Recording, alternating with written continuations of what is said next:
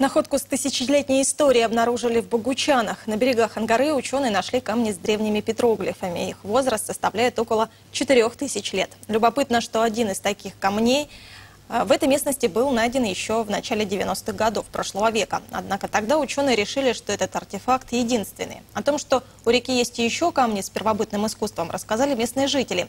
Много лет они рыбачили с этих камней, но лишь недавно поняли, углубления, которыми они усыпаны, ни что иное, как древние личины.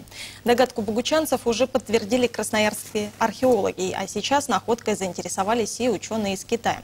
В следующем году они планируют приехать в Богучаны и попытаться разгадать тайну создания создания ангарских петроглифов.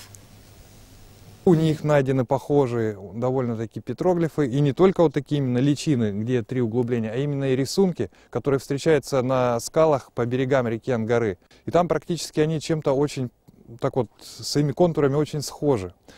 Э, но по одной из версий наши являются намного древнее, на, там, на тысячу-две тысячи лет, чем в Северном Китае.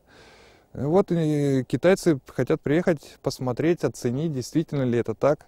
Может, отсюда как раз в сторону Китая пошло вот развитие вот этой культуры, а не наоборот, с Китая к нам. А пока археологи строят свои догадки, местные жители придумывают для камней новые обряды. Например, они уверены, если вложить три пальца в углубление на камнях и загадать желание, оно обязательно сбудется. В местном музее даже ведут статистику таких случаев. Подробнее о них и о том, какие жертвы древним камням приносят современные богучанцы, смотрите на нашем канале сегодня в 16.50 в программе «Край без окраин».